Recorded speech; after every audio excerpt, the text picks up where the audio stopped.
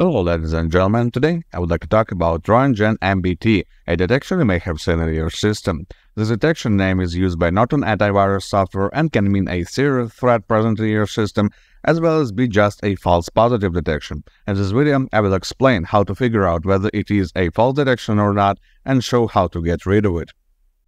First, let's figure out what this detection means. As I said, it is used by Norton antivirus engine and is a generic detection name that belongs to the heuristic detection system. Heuristic systems detect malware not by their file structure or signature, but through analyzing their behavior. This allows for much more flexible detection of novice and evasive malware. In the case of Trojan.Gen.MBT, the type of threat ranges from dropper malware to spyware and sometimes even ransomware. Either of them is not a great thing to have in your system. This usually ends up with the system being filled up with different malware, stolen credentials and personal data, and encrypted files. The other hand, since detection should urge you to remove the threat. But what if Trojan.Gen.MBT is a false positive?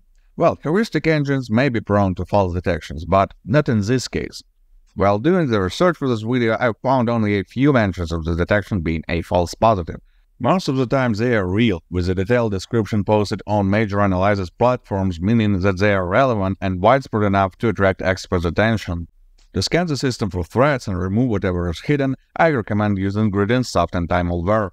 This program incorporates advanced detection techniques that will detect and remove even the most evasive malware samples.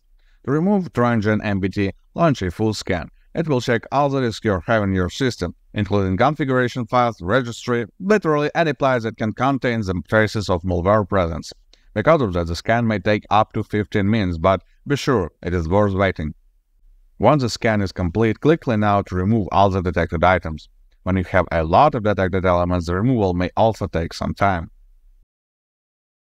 Now the system is clean. Good luck and stay safe online.